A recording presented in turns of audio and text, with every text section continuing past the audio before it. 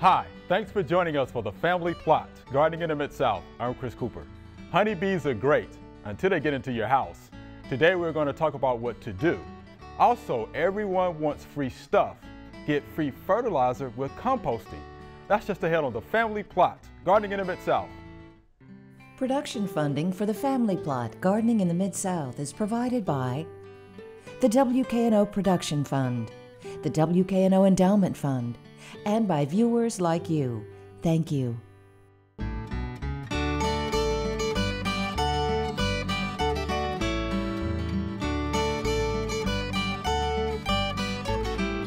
Welcome to the Family Plot. I'm Chris Cooper. Joining me today is David Glover. It's the David is the Bartlett Bee Whisperer, and Mike Larrivee will be joining us later. Mike is the Compost Fairy. All right, so Mr. David, let's talk a little bit about bee removal. What are the steps that we need to know? Well, first off, there's a difference between bees and wasps. Okay. Okay. And a lot of people can't tell the difference. In fact, some of the pest control companies don't know the difference. And so it's important to educate.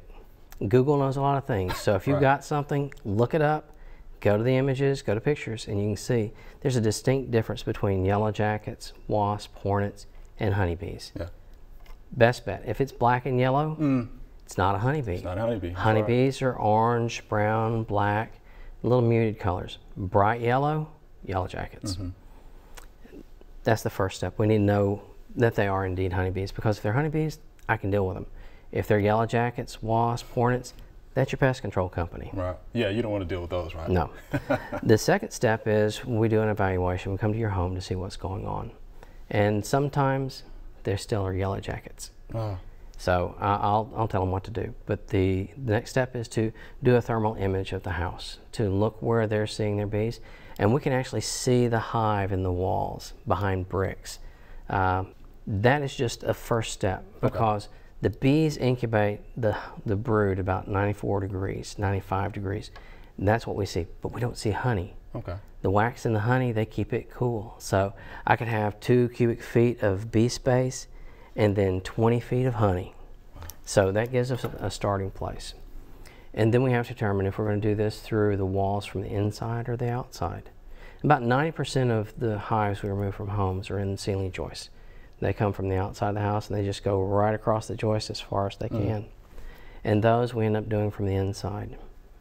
Walls, sheetrock is a whole lot easier to repair than brick. Mm. But recently had to do a, a brick job where we had to remove the bricks to get the bees out. The the hive was below the foundation of the house. Wow. The facade, the brick facade, was where they were coming in. And because the bees had been sprayed by a pest control mm. company, they were trying to get a new exit from the house. And they see light. Inside light is the same as the sun. And so they're coming in around the window into the bedroom. When we remove the bees, we cut out all the comb. The brood comb goes into a hive box. Honeycomb goes into a bucket. And there's going to be trash comb. There's going to be cr- comb that's empty, doesn't have anything in it. Or there'll be leavings where we're cutting the brood to fit into a hive frame. And those go into a trash bucket. The big thing for us is to save the brood. The brood is the babies, that's the eggs, the larvae, and the potential adult bees. Okay. And to find the queen. Uh, without the queen, the hive is basically useless. Do you normally find the queen? I'm about 97% this Pretty year. good. That's pretty good. That's pretty good.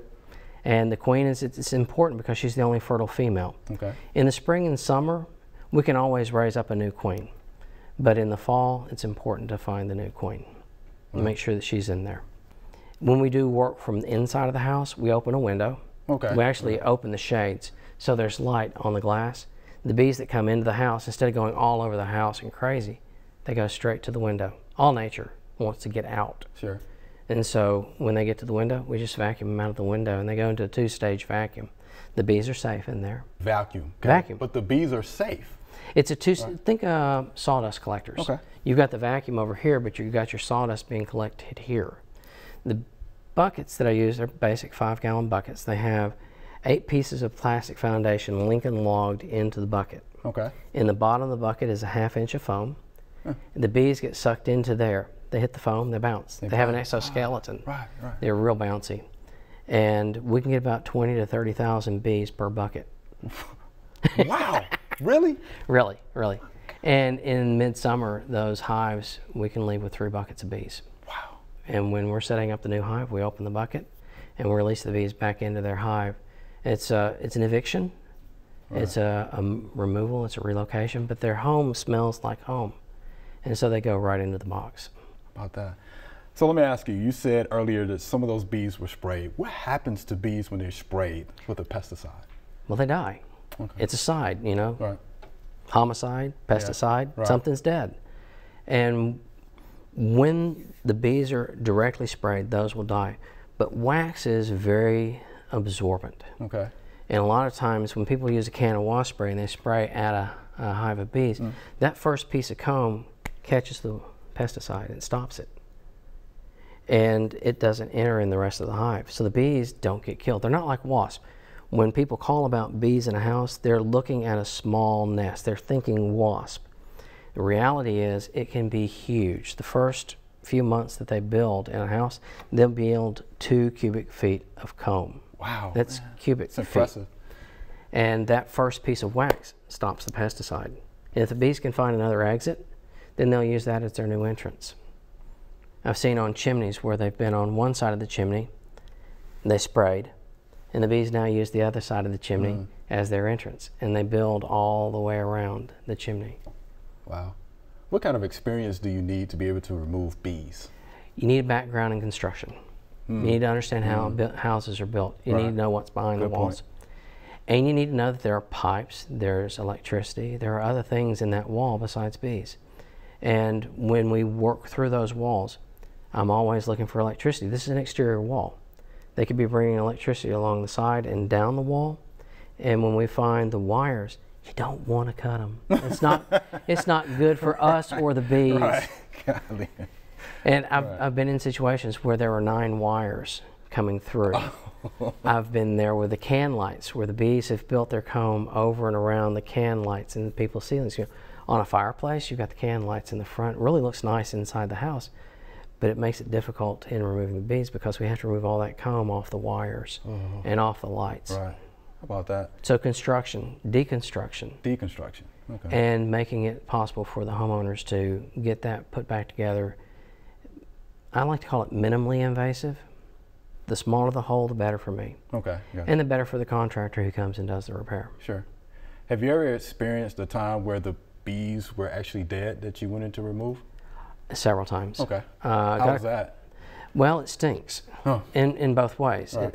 It- you're thinking 40,000 bees. One bee doesn't smell bad, but when they're all sitting on top of each other, they start to molder and they smell like a dead dog. Wow. How about It's, it's pretty bad.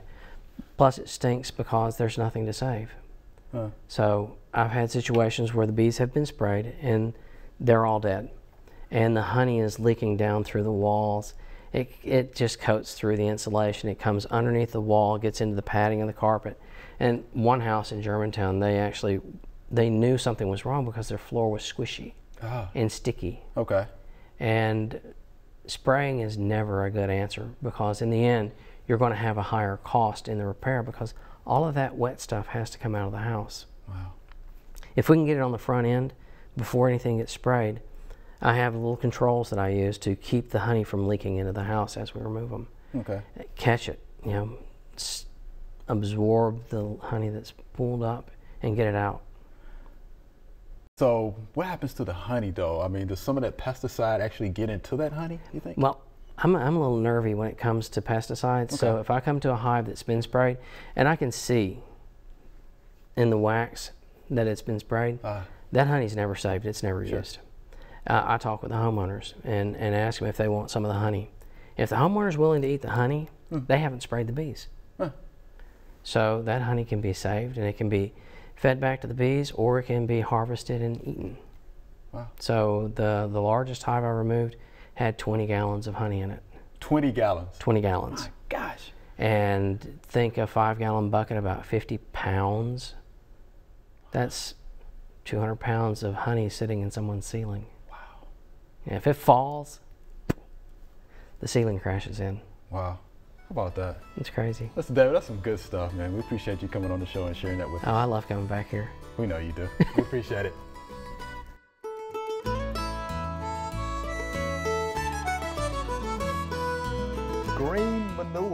Yeah, That yeah. lot, right? That's Especially not right manure. I mean, it's yes, not right yet. No. Green manure.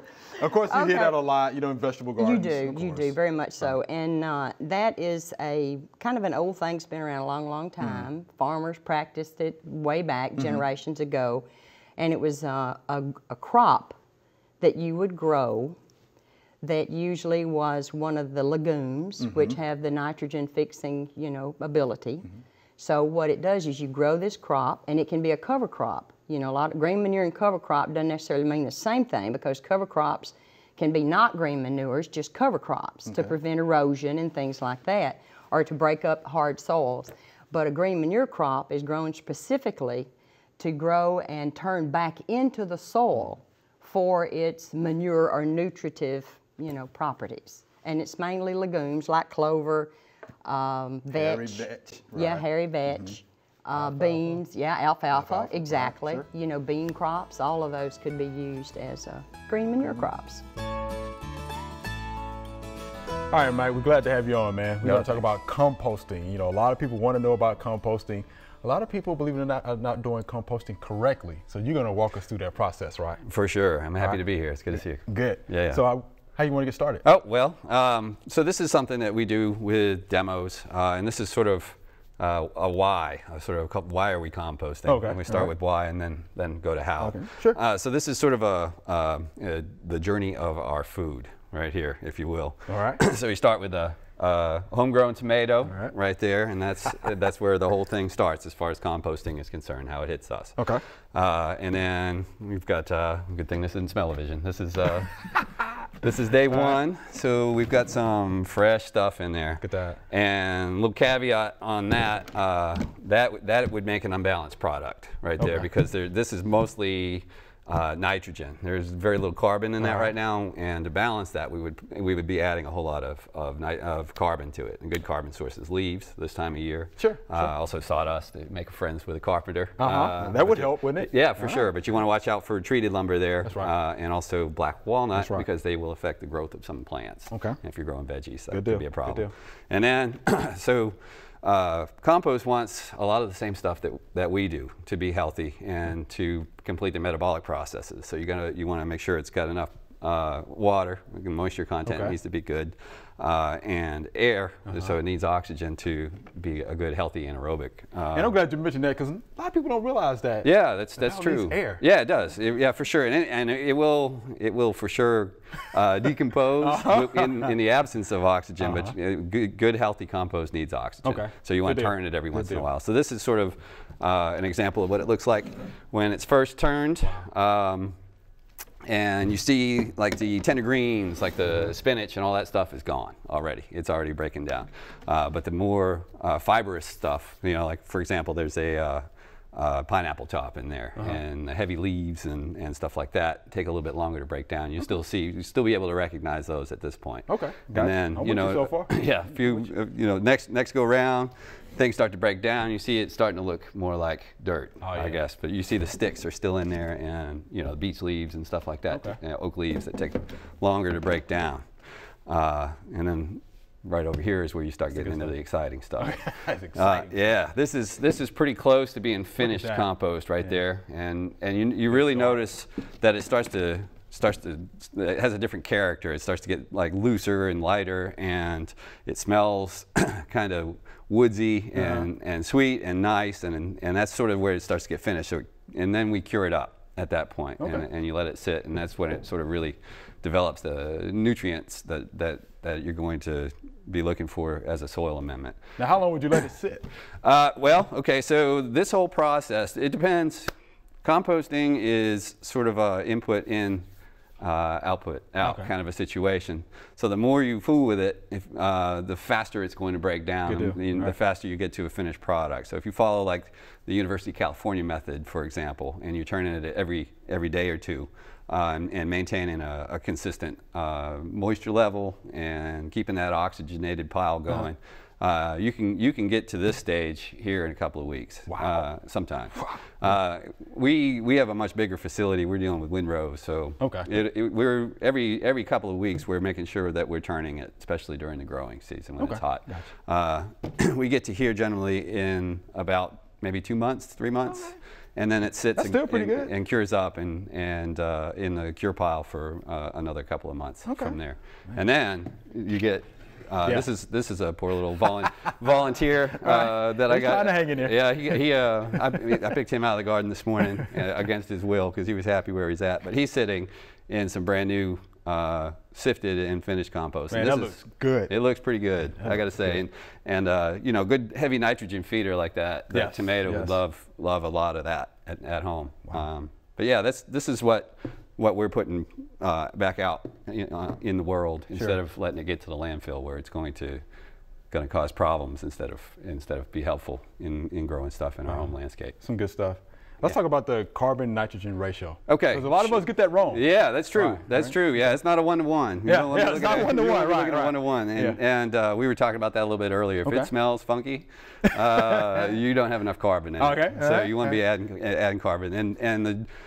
The, the general rule of thumb is somewhere in the in the neighborhood of 25 uh, to one carbon ratio to nitrogen. Uh, so the, um, you want to be stockpiling those leaves this time of year because they're valuable. And if you're going to be composting in the summertime when there's not a leaf, leaf leaves available, maybe unless you got a magnolia or something Yeah, like something that. like that, right? um, you uh, you want to hang if you have space for them. It's it's good to hang on to those so that you can add those as you're as you're bringing your kitchen scraps and your grass clippings out to the compost pile and adding that nitrogen. okay. Let's give the folks some examples. What is considered a carbon? Uh, yeah, carbon. So leaves are leaves are like the most readily available source. Everybody's got a tree in their yard or in their Sure. neighborhood that they can that they can shag it, some leaves from, uh, and don't put them on the side of the road in bags. That's right, yeah, Yeah, you can cut down We on your waste stream. Yeah, right, save that's your right. leaves. Save your leaves. They're important.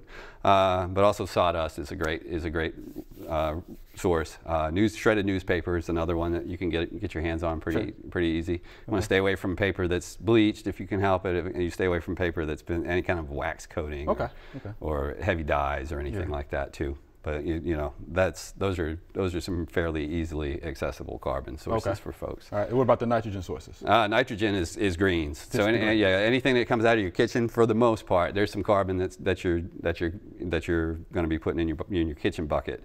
Uh, but most of your stuff that's coming out of your kitchen, uh, your your veggie and fruit scraps and stuff like that, is, is, going to be heavy in nitrogen. Okay. Also, grass clippings. Sure. Which are great, in the, and they break down super quick too.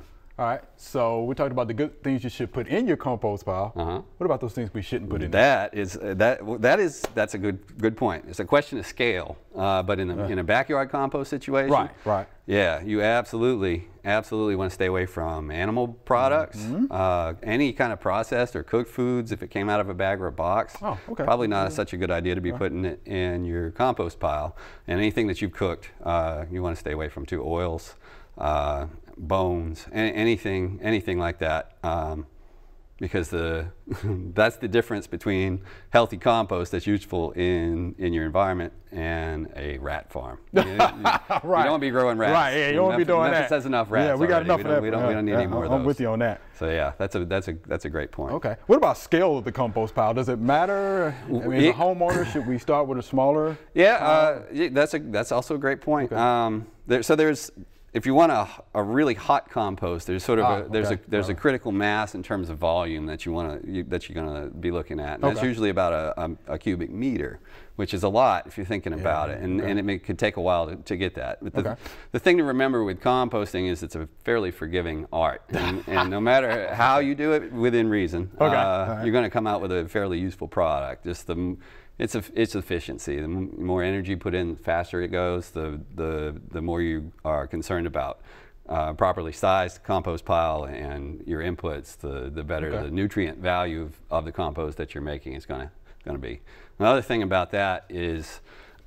you want to have at least two containers, Okay. uh, so that so that one can do the the Okay. curing, I got you. right? Well, you're starting a second pile because you're not going to stop eating. You're not going to stop mowing your grass, right. and the leaves aren't going to stop falling. That's right. So, so you, you need to have a second pile uh, or a second container available uh, so that this first one can finish doing what it's doing, and then you just flip and start that cycle again. And you Makes can sense. you can do a you can do a, a heap, I guess, uh, in a in a bin on the ground with that soil contact, which I find is helpful because Okay. you you have more access to those microbes that are in the ground that are going to be doing the, the decompositional Okay, work sense. for us anyway, and, and worms and all that sort of other stuff. But you can also there are lots of lots of containers on the Yeah, market, I've seen plenty of tumblers and all, all, all, yeah. all kinds. Um, and you know, worm worm bins and, Yeah. and stuff like that as well, for sure. Okay. Yeah. All right, we appreciate you coming on and telling us a little bit about composting, Well, man, because thing. you are the compost fairy. I am the compost fairy. Yeah, we're serving Memphis for sure. Ha- happy to help uh, with the, the education process Yes.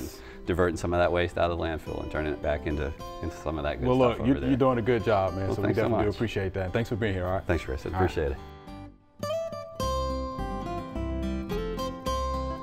We're here in the garden and we've noticed that there's holes in the leaves on our okra.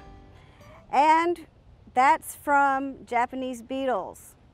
We're going to try to get rid of the Japanese beetles by mixing up some soap water. What happens here is you put a little soap, dishwashing soap in some water and you mix it up just a little bit for a soapy solution. And then you get your Japanese beetles and you drop them in here, and this will uh, eliminate the hormone that's present from them so that other Japanese beetles will not want to be attracted to this area.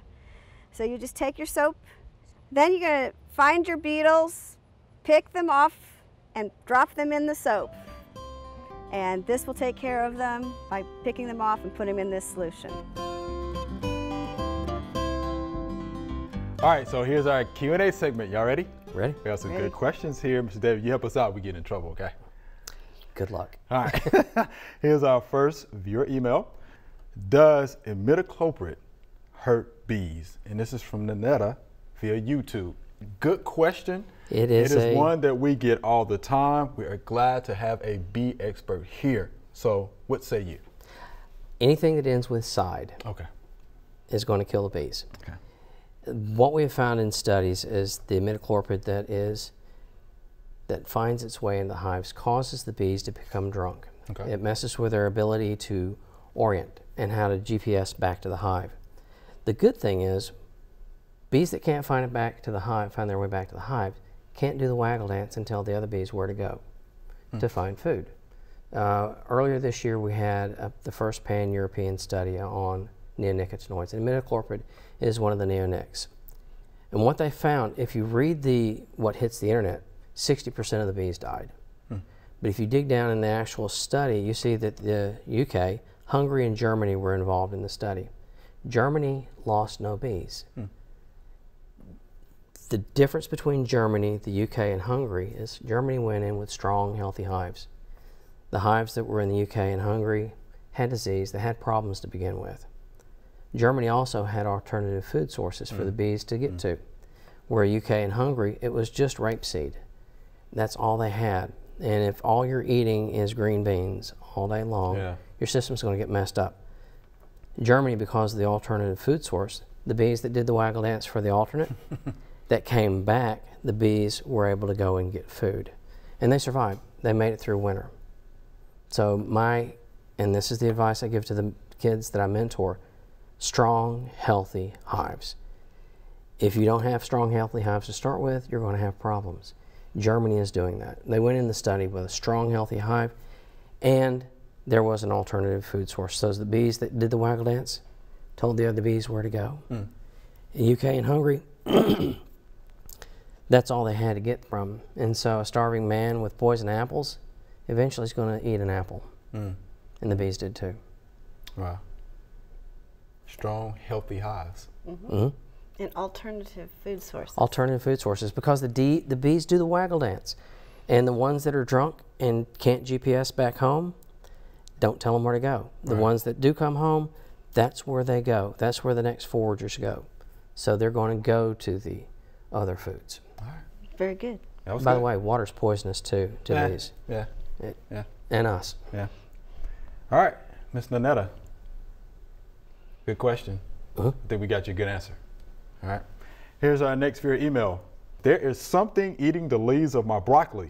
How do I control the pest without using hard chemicals?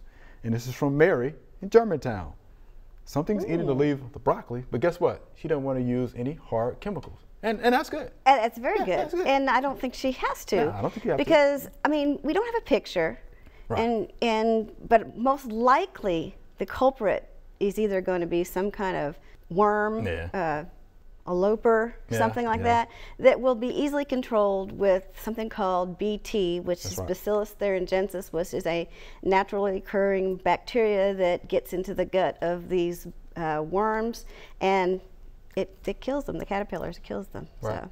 And you can kill them without using the hard chemicals. Right. Right. Because yeah, you're right. It's probably one of the. It's probably a cabbage looper or a cabbage worm, Mm-hmm. right? And they're feeding on the broccoli. Yeah, if you go ahead and use this uh, BT, BT. product, which is Dipel, Mm-hmm. as a name for it. Javelin is another name.